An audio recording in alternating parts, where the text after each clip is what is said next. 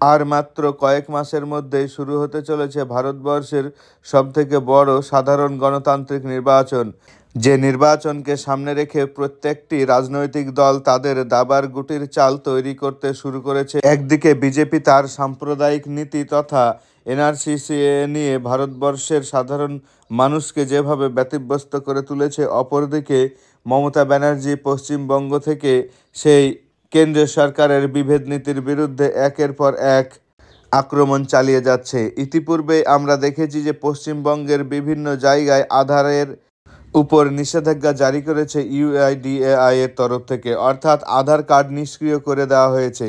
আর এই আধার কার্ড বর্তমান ভারতবর্ষে এমন একটি গুরুত্বপূর্ণ নথি যার মাধ্যমে ভারতবর্ষের সরকারি সমস্ত প্রকল্প এবং সম্পদ সব কিছুই তার আওতায় নিয়ে আসা হয়েছে এবং সেটি যদি নিষ্ক্রিয় করে দেওয়া হয়ে থাকে, তাহলে যে ব্যক্তির আধার কার্ড নিষ্ক্রিয় হয়ে যাবে, সে ব্যক্তি সমস্ত সরকারি সুযোগ সুবিধা ও সম্পদের মালিকানা থেকে বঞ্চিত হবে। অর্থাৎ আগামীতে লোকসভা নির্বাচনের পরবর্তী সময় ভারত সরকার তথা সাম্প্রদায়িক বিজেপি সরকার যে ভারতবর্ষের পার্শ্ববর্তী দেশ থেকে আসা শরণার্থীদেরকে নিয়ে যে হুইপ জারি করে আসছিলেন, তাদেরকে এনআরসি করে বাদ দিয়ে দেওয়া হবে, এদেশ থেকে তাড়িয়ে দেওয়া হবে এবং তার মধ্যে আবার ধর্মীয় রং লাগিয়ে একটি সম্প্রদায়ের মানুষকে আলাদা করে দেওয়ার চেষ্টা করছিল। সেই জায়গায় দাঁড়িয়ে যদি আধারের মতো গুরুত্বপূর্ণ নথিটি যদি নিষিদ্ধ করে দেওয়া হয়, তাহলে সর্বসাধারণ মানুষের জন্য কিন্তু এই নিষিদ্ধ ডকুমেন্ট কখন কার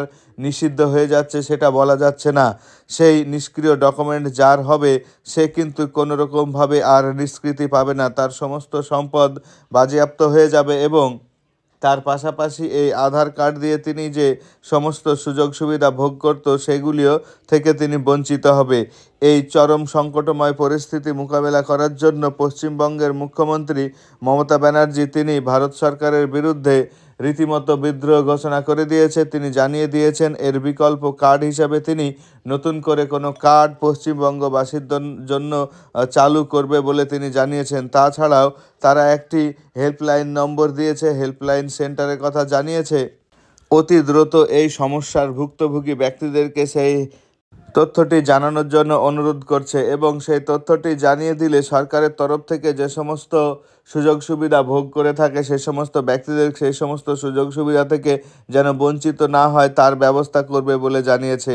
তাহলে এমনও চরম সংকটময় পরিস্থিতি তৈরি হয়েছে যে পরিস্থিতির জন্য বিজেপির বিভিন্ন সাংসদরাও একের পর এক ক্ষমা চাইছে, কেউ আবার এর পক্ষ নিচ্ছে, আবার কেউ জানিয়ে দিচ্ছে অল্প সময়ের মধ্যে এটিকে চালু করা তাহলে যা নির্বাচনের প্রাক মুহূর্ত, এমনই একটি সংকটময় পরিস্থিতি তৈরি হয়েছে ভারতবর্ষের বিভিন্ন সাধারণ নাগরিক যাদের প্রত্যেকেরই রয়েছে এই আধার কার্ড। একদম শূন্য থেকে শেষ বয়স পর্যন্ত প্রত্যেকটি ব্যক্তি বাধ্যতামূলক আধার কার্ড করেছে এবং এই আধার কার্ড দ্বারা সমস্ত সম্পদ এবং সরকারি যে সমস্ত সুযোগ সুবিধা ভোগ করে থাকে তার লিঙ্ক করা রয়েছে। এই পরিস্থিতিতে কি হবে তা নিয়ে চলছে চরম সংকট। আধার নিয়ে বর্তমান এই পরিস্থিতির জন্য আপনাদের মতামত অবশ্যই কমেন্ট বক্সে কমেন্ট করে জানিয়ে নেবেন চ্যানেলটিকে সাবস্ক্রাইব করবেন, ভিডিওটিকে লাইক করবেন।